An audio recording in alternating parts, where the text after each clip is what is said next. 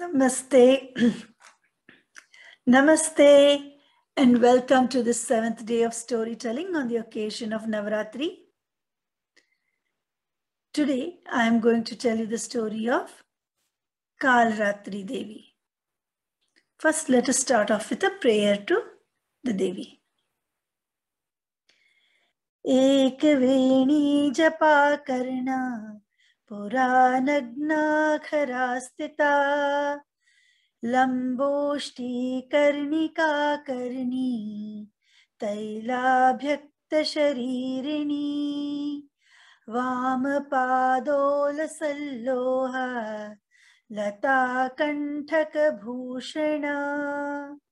Vardhana मूर्धध्वजा Krishna Kalratri भयङ्करी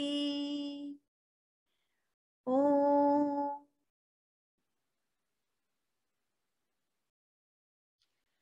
Kalaratri Devi. Kalaratri Devi is yet another form of the Navadurgas, the nine Durgas who we pray to during Navratri. We worship Kalaratri Devi on the seventh day of Navratri. Kalaratri Devi is also called Shubhankari. Shubhamkari, the one who does good. So, um, while I've been telling these stories of the Navadurgas, I've been reading books to get some new stories that maybe I myself didn't know before because I wanted to learn with you all. And I found something very interesting. I did not know that Kali and Kal- Kalaratri are not necessarily the same. They are used interchangeably in stories many very often. But it is not that they're exactly the same. Kalaratri the, the name kalaratri means end of time. Kala is time means time in sanskritam kala Ratri is night. And night is the end of the day, is the end of that full time. So, Kalaratri is that time when the end has come for the person who has been doing bad. So, Kalaratri Devi is the one who metes out justice who make sure that the right punishment is given to the bad guy while the good guy, the innocent person, is taken care of. So, in that sense, all the Devis who come and punish the Asuras, they have come as Kalaratri. There is a um, part in the in, in the Ramayana, you know, uh, when Hanuman goes to uh, Lanka and he sees Sita Devi and he feels very bad, right? And after that, he meets Ravana. And when he meets Ravana, Hanuman says, Oh Ravana, you are such a great person. You have done so much tapas. You have got so many, many, many boons. You are a great person. Why? Why did you do such a thing like bring, abduct Sita? Why? You know, by doing this, you have invited Kalaratri herself. which is you have invited your end.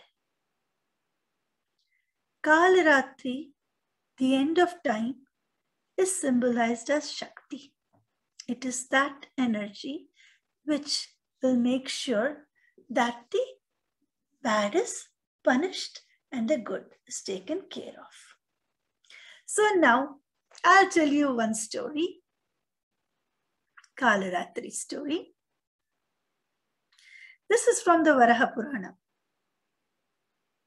Um, in one of the earlier stories, I had uh, uh, told you how Devi comes to be, right? She is the energy within Shiva, Vishnu, Brahmadev, and everyone else. Once, when the gods were really feeling helpless, Shiva, Vishnu, and Brahma could do nothing. That helplessness, that anger that they had, the frustration that they had, and all that that helplessness and that feeling of, oh, mother, please take care of us. That feeling when they had, out of them, the energy had come and had formed Devi. And from there, Mahakali, Mahasaraswati, Mahalakshmi had also been formed. And every devas, Shaktis were also formed.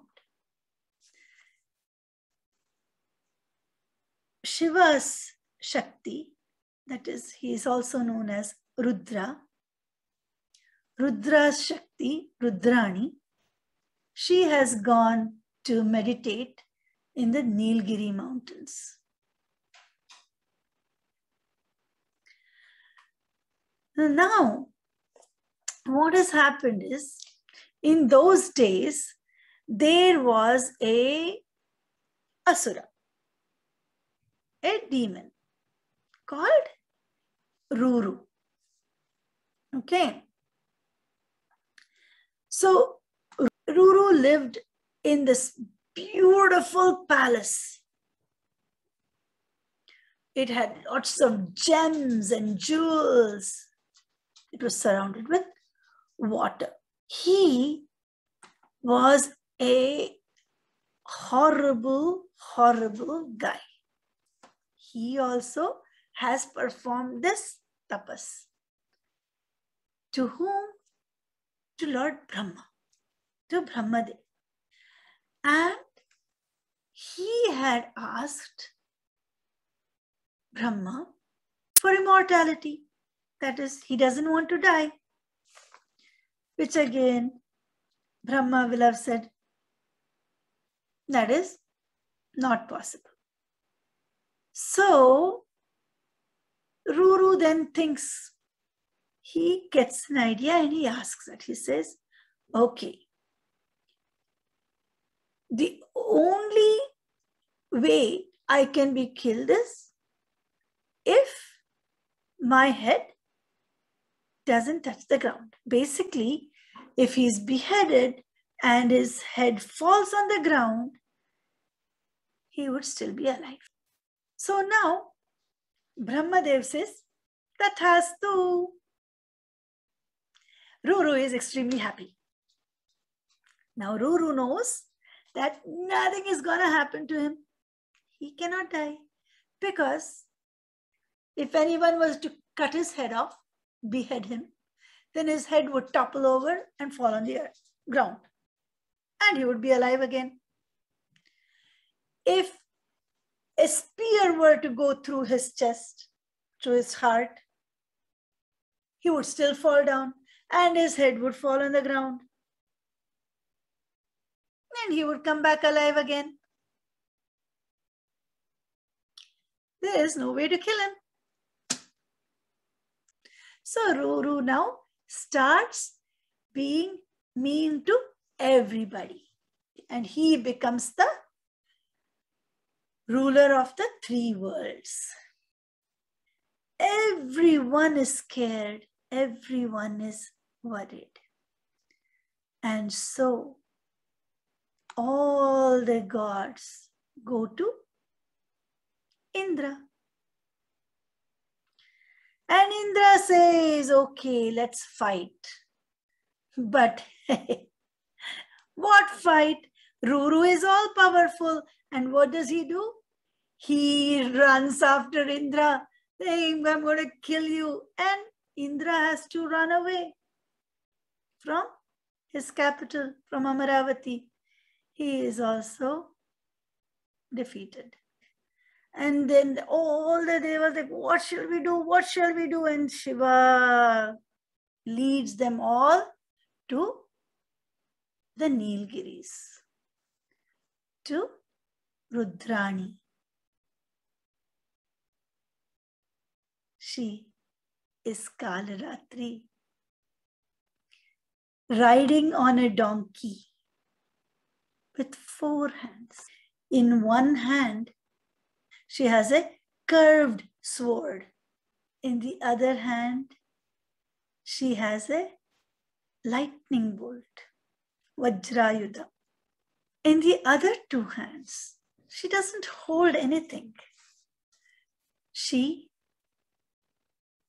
has the Abhaya Hasta with the right hand and the Varada Hasta with the left hand. Vara means boon or gift. Varada Hasta is a boon, uh, Hasta means hand, the hand that gives. Whatever you want, I will give. A mother always gives, doesn't she? Whatever you want, she will give. So, Varada Hasta and Abhaya Hasta. Abhaya means without fear. Hasta is hand. So, she has the hand which says, Don't fear. The gods go to her, all the devas, and tell her, Help us, please. Please, please help us, oh mother. And she says, Sure. Don't you worry. Don't you worry. I will make sure that all is good. So she now goes after Ruru. So Ruru looks at her coming and um, wonders what she wants. And Rudrani, Kalaratri, says, Look, oh, Ruru, stop being mean. Give everything back to the Devas. Otherwise, your Kala has come, your time has come. I will punish you. He laughs. what can you do? A mere woman, what can you do? And she says, You don't know. You don't know me, son. You don't know me. And she starts laughing. And as she starts laughing, from her laughter comes all the Devis start coming. From her laughter, you can see all the Devis come. All the Shaktis come. Bearing tridents, bearing kamandalus, bearing chakras, bearing spears, bearing fire. You have all the Devis. He calls all his people. And then there is a big fight. The war is mass, the war is long and the war is bloody. Finally, Ruru is defeated and the gods are back to where they should be, and the whole universe is peaceful. So, this is the story of Rudrani Kalaratri. Kalaratri Devi is someone we should always be thinking about. Know that she is always there to give you what you deserve. She is also called Shubhamkari, which means the one who does good. So she will make sure that everything is all right. It is important to know that if we are not good, there will come a time that we get punished. So let us be good. I hope you like the story of uh, Kalaratri Devi. Tomorrow, I will tell you the story of Mahagauri. Let's sing the praises of Devi. Jai Mata Di.